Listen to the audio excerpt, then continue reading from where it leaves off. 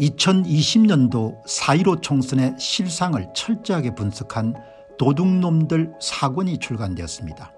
여러분께서 구매해 주시고 널리 퍼뜨려 주시기 바랍니다. 선거를 바로 세우고 나라를 바로 세우는 정의로운 길에 여러분께서 적극 힘을 더해 주시기 바랍니다. 감사합니다. 안녕하십니까 공평호입니다.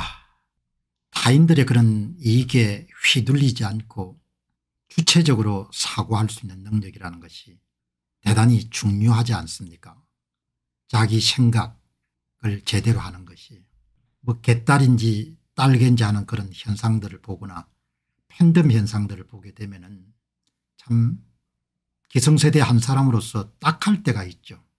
어떻게 사람들이 저렇게 무리를 지어 가지고 저렇게 이용을 당할까 그런 생각이 드는데 참 뭐 세상이 그렇게 흘러간다고 이렇게 생각하면 되는데 그래도 세상의 어느 한 구석에서는 옳고 그름을 구분하고 옳은 방향으로 가기로 이렇게 촉구하는 그런 사람들이 또 있어야 되는 거죠. 예. 오늘 보니까 제가 자주 좀 소개하는데 중앙일보에 기고를 하는 서강대학교 철학과 교수를 하시다 조금 일찍 정년 퇴임을 한 이런 최진석 교수 최진석 교수가 한번 생각해 볼 만한 그런 글을 기고를 했네요. 최진석 교수가 스스로 주도적으로 생각하는 것이 얼마나 중요한가라는 부분에 대해서 개인적인 문제뿐만 아니고 사회적인 관점에서 예, 이야기를 했는데 중요 내용을 한번 살펴보도록 하겠습니다. 이분 이야기는 스스로 생각할 수 있어야 인류로 도약이 가능하냐 어떻게 그렇게 맹목적으로 추종하는 그런 자세를 가졌을 때냐 이렇게 철학자다운 말씀을 하셨는데 그 내용 가운데 참 숙고할 만큼 가치가 있는 내용이 있습니다. 문명은 어찌되었건 생각의 결과라는 점에서 지적 산물입니다. 문명뿐만 아니고 개인의 삶의 성패도 생각의 결과로서 그냥 결정 지어진 경우가 많지 않습니까 지적 전통이 있는 민족이나 나라들만 역사적으로 발전할 수 있습니다. 의식은 본능적이기도 하지만 생각은 의도를 따라서 총재된 의식으로부터 일부러 하는 것이며 매우 인위적입니다.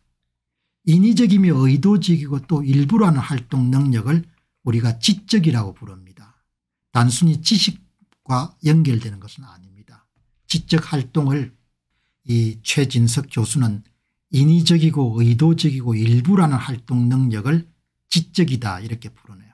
지적인 사람은 지적이지 않은 사람에 비해서 무엇이든지 인위적으로 의도적으로 의지를 갖고 할 줄 압니다. 소크라테스가 용기를 지적 인내라고 말한 데서 우리는 지적이란 개념의 활용을 더 구체적으로 이해할 수 있습니다. 노력, 절제, 사랑, 자비, 배려, 대화, 타협 등도 감각과 본능을 이겨낸 지적 행위들입니다. 여러분 아주 짧지만 굉장히 실용적인 철학을 이야기하는 거죠. 노력이라든지 절제라든지 사랑이라든지 자비라든지 배려라든지 대화라든지 타협이란 것이 본능적인 반응이 아니고 지적인 활동이다. 본능과 감각을 이겨낸 대화를 잘못하고 상대방을 배려하지 못하고 정해진 생각에 갇히고 게으르고 예위나 염치가 없고 남 비난 잘하는 내로남불에 빠지는 것은 다 지적이지 않았습니다. 예, 편집하시는 분이 글이 좀 길어 놓으니까 이렇게 읽기가 좀 힘들게 만들어놨는데 다음부터는 편집을 좀 잘 하셔가지고 문장을 좀 나눠 주시면 조금 더 이 좋은 문장이 보편화되겠네요. 여러분 우리가 감각과 본능을 넘어서 지적이어야 된다는 거죠.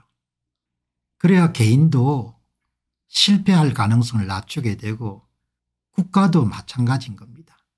참 여기서 마음에 드는 것은 대화를 무례하게 하고 상대방을 배려하지 못하고 거짓을 일삼고 염치가 없고 남탓 잘하고 이런 게 다 뭡니까 지적이지 못하기 때문에 발생하는 일이라는 것이 최진석 교수의 주장인 겁니다. 주작이 우리에게 탁산공론의 요소가 많았던 것은 주작 자체의 문제가 아니고 우리가 주작을 수입해서 숭배하기만 했기 때문입니다. 여러분 정치인을 왜 그렇게 숭배합니까? 누가 저한테 여러분들 공박사님 조, 숭, 존경하는 사람 누구 나는 없습니다. 이렇게 이야기합니다. A씨의 이런 점은 좋아하거나 받아들일 수 있겠지만 A씨 자체를 좋아하거나 이러지는 않는다는 겁니다. 왜 그렇게 숭배를 합니까? 서양 학문을 왜 그렇게 뭡니까? 숭배할 필요는 없지 않습니까? 저는 학문적으로 프리드리히 폰 하이에크라는 그런 분을 좋아하지만 좋아하지만 그 양반을 무슨 숭배하거나 그렇지 않는다는 이야기입니다.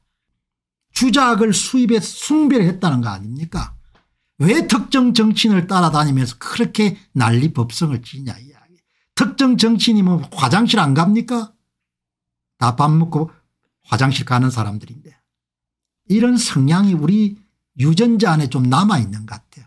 난 도대체 팬덤 현상이 이런 걸 이해를 못하겠습니다. 인간 대 인간의 입장으로 봐야 되고 그 양반이 하는 이야기나 주장이 좋으면 그 양반의 주장이 좋은 거지. 그 양반을 뭡니까 그렇게 해서 그 양반이 좀 쓴소리 하게 되면 왜 그 양반에 대한 쓴소리 한다고 또 난리, 난리 법석을 지지 않습니까? 대단히 후진적인 생각이고 감각적인 생각이고 본능적인 생각인 거죠. 현실을 지적으로 인식하는 스스로의 노력을 하지 않고 이데올로기를 쉽게 수입해 쓰는 나라들은 비록 지적인 전통이 있다 하더라도 어느 단계에선 한계에 직면할 수밖에 없습니다. 우리나라는 지금 이 한계 앞에 서 있습니다. 지적인 태도가 있어서 여기까지 왔지만 수입한 이데올로기로 달리는 지적 태도로는 도달할 수 있는 가장 높은 단계에 도달했습니다. 지적인 태도가 생각을 근본으로 한다는 점을 놓고 말한다면 우리는 생각의 결과를 받아들여 살았지 스스로 생각하는 삶을 살지 않았다고 말할 수 있습니다. 아주 뼈아픈 질책이네. 스스로 생각하는 능력 스스로 생각하는 태도 스스로 생각하는 삶을 살지 않았다는 거 아닙니까 문명이 생각의 결과이고 지적 산물이라는 것을 믿는다면 우리의 현재를 억지로라도 일부러 자세히 생각하고 들여다볼 일입니다. 더 나은 사람이 되는 길에 들어서고 싶은 마음이 조금이라도 있다면 오래된 자신의 정해진 생각을 맹목적으로 지키는 태도를 지적 활동으로 믿거나 홍위병처럼 누군가를 맹목적으로 추종한 것을 정의로 믿고 있는 것은 아닌지부터 살펴볼 일이 있습니다. 생각 없이 지적이기는 불가능하고 지적이지 않으면서 인리로 사는 것은 불가능합니다. 최진석 카이스트의 김재철 동그룹 회장이죠. AI대학원 초빙 석학교수 말씀이네요. 참 멋진 이야기네요. 여러분 2020년도 4.15 총선이 끝나고 나서 간단한 여러분들 차이값 그래프 같은 걸 통해 가지고 부정선거에 관한 그런 관심이 집중되고 있었습니다. 그때 여러분들 대한민국의 언론계 중진들이 적극적으로 부정선거가 없다고 여러분들 주장하고 나서기 시작했습니다. 이준석 뭐 한기호 하태경 유경준 이영 정규재 조갑제 여러분들이 이게 그대로 있지 않습니까 사실을 앞에 놓고 사실이 검증을 해볼 수 있는 열린 마음이 전혀 없는 겁니다. 오래된 자신의 정해진 생각을 맹목적으로 지키는 태도를 지적 활동을 믿거나 그 사람들이 그렇게 해온 겁니다. 뭔가 이익에 연결됐으니까 그냥 처음부터 모든 사실을 덮어버린 겁니다. 그리고 덮었기 때문에 계속해서 덮어야 되는 겁니다. 새로운 증거가 나오더라도 그냥 인정하지 않는 겁니다. 하, 여러분들 그걸 보고 정말 제가 볼 땐 놀랬습니다. 예. 살아가는 방식이 사람들이 저렇게 다르구나. 예. 사람이 사회 현상을 볼 때 어떤 인물을 볼 때도 생각을 해야 될 거 아닙니까 저게 사실인지 진실인지 제대로 이야기를 하고 있는지 오늘 이야기는 누구를 뭐 비난하자는 이야기가 아니고 최진석 교수의 칼럼이 항상 전부를 동의하는 건 아니지만 생각할 거리를 던져주는 주장인 겁니다. 오래된 자신의 정해진 생각을 맹목적으로 지키는 태도를 지적 활동을 믿거나 홍위병처럼 누군가를 맹목적으로 추종하는 것을 정의로 믿고 있는지를 아닌지를 살펴볼 일입니다. 좀 잘 살기를 원하면 은 그렇게 해야 된다는 겁니다. 생각 없이 지적이기는 불가능하고 지적이지 않으면서 인류로 사는 것은 불가능합니다. 잘 살 수 없다는 겁니다. 정말 참 농객들이 많은 글을 쓰지만 생각할 거리를 항상 제공하는 그런 최진석 교수의 아주 참 멋진 그런 칼럼이었다. 예, 글이란 것이 이렇게 울림을 주지 않습니까 생각할 거리를 주는 거죠. 지적인 삶을 어떻게 사는가 그런 주제에 대해서 오늘 여러분들에게 말씀을 드렸습니다. 자 여러분 지난 5월 말에 2022년 6월 1일 전국 동시지방선거에서 노태악과 박찬진 선관위가 어떤 일을 했는가를 밝힌 도둑놈들 혹은 2022년 6월 1일 지방선거 어떻게 훔쳤나를 발간했습니다. 그리고 아시는 분들도 계시다시피 이제 올해 1월부터 올해 1월부터 모두 다섯 건의 대한민국 공직선거를 해부한 이 도둑놈들 시리즈가 그리고 다음 달 7월 말일경에 교육감 선거 어떻게 훔쳤나는 도둑놈들 6건이 나옵니다.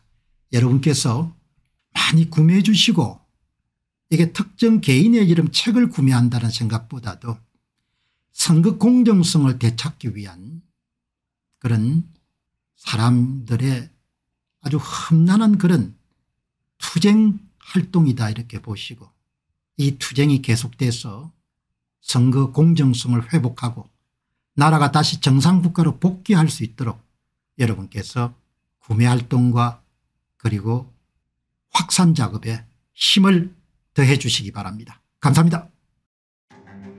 2022년도 대통령 선거의 실상을 파헤친 도둑놈들 2권 2022년 대선 어떻게 훔쳤나 그리고 도둑놈들 3권 2022년 대선 무슨 짓을 했나를 출판하게 되었습니다. 공직선거를 해부하는 도둑놈들 시리즈가 계속 나올 수 있도록 여러분께서 구매해 주시고 주변에 널리 알려주시기 바랍니다. 선거를 바로 세우고 나라를 바로 세우는 일에 여러분께서 힘을 더해 주시기 바랍니다. 감사합니다.